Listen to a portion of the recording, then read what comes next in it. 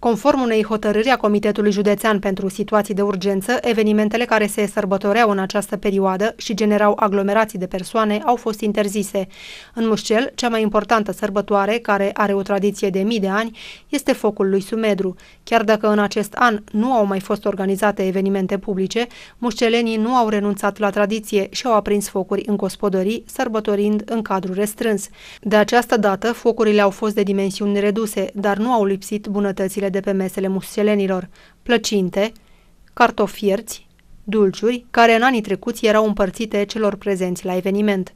Nu s-a renunțat nici la tradiționalul îndemn hai la focul lui Sumedru și nici la tradiția prin care tinerii săreau peste foc.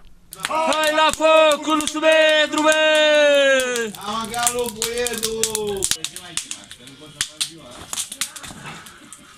În județul vecin, Dâmbovița, autoritățile nu au fost atât de drastice și au permis organizarea acestui eveniment tradițional, dar cu respectarea măsurilor de protecție pentru prevenirea răspândirii coronavirusului.